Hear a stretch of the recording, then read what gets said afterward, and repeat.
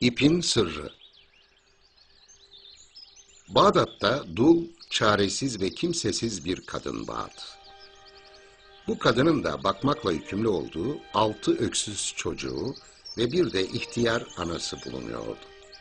Kadın geçimini sağlamak için bir hafta uğraşır, el emeği göz nuru iplik eğirir, bunlarla pazara çıkar ve anasıyla çocuklarının rızkını bu şekilde temin etmeye çalışırdı.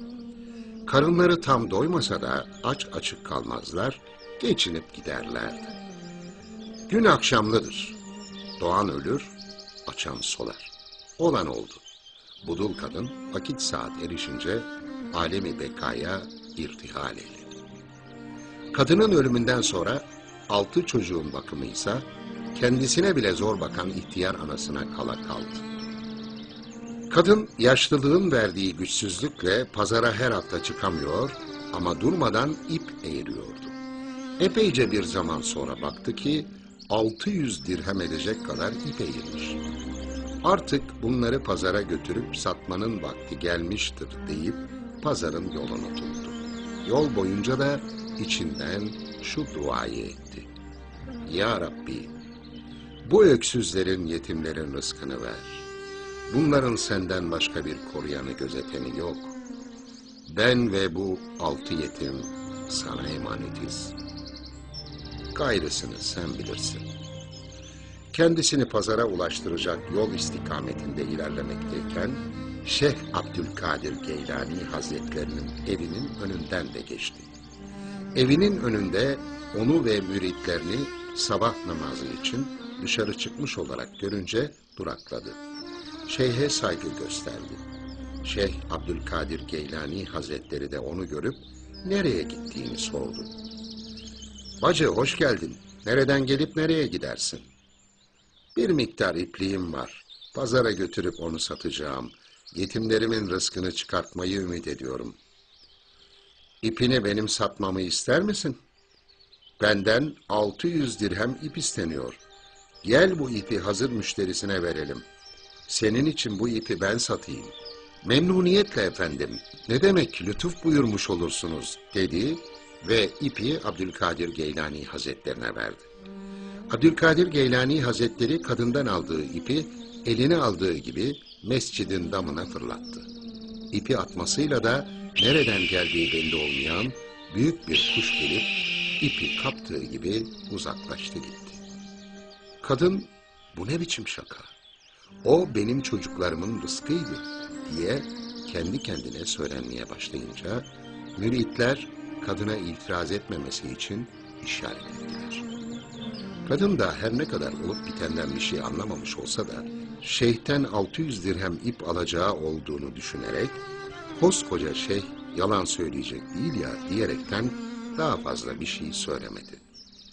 Abdülkadir Geylani Hazretleri de kadına dönerek Hatun canını sıkma, ipliği satmaya gönderdim. Parası gelsin, ne kadar ettiyse karşılığını alırsın. Paran kalmaz, korkma. Kadın, pekala madem siz öyle söylüyorsunuz diyerek evine gitti. Ertesi gün ilk işi şeyhin yanına uğramaktı. Satmaya gönderdiğiniz ip satıldı mı? Abdülkadir Geylani Hazretleri iplik satıldı fakat parası henüz gelmedi. Korkma endişelenme.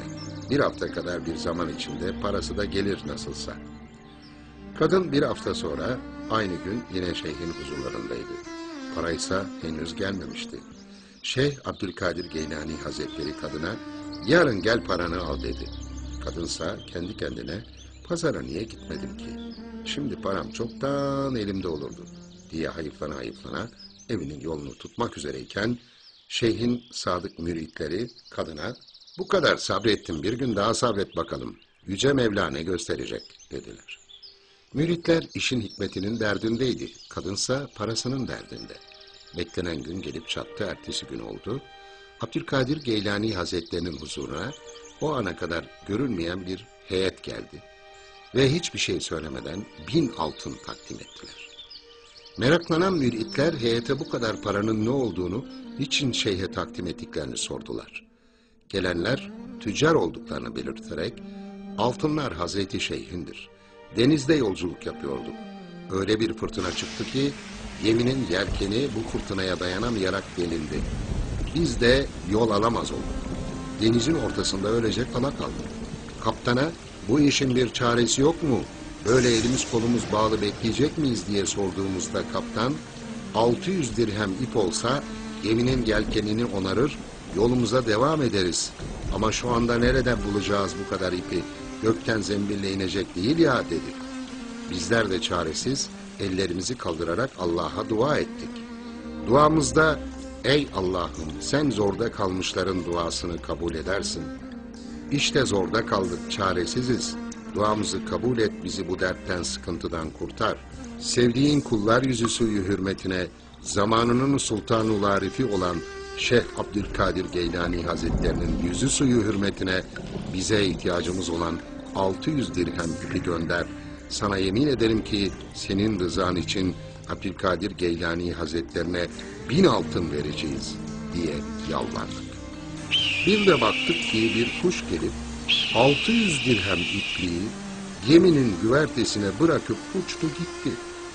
İşte şimdi bu yaptığımız zorda can havliyle ettiğimiz o ada bugün canı gönülden yerine getirmemizdir dediler. Tüccarlar ayrıldıktan bir müddet sonra ihtiyar kadın gelip parasını sordu.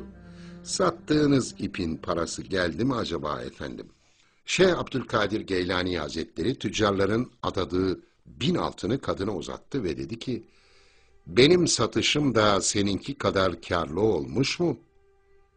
Kadın bir anda zengin olmuştu. Ne diyeceğini şaşırdı.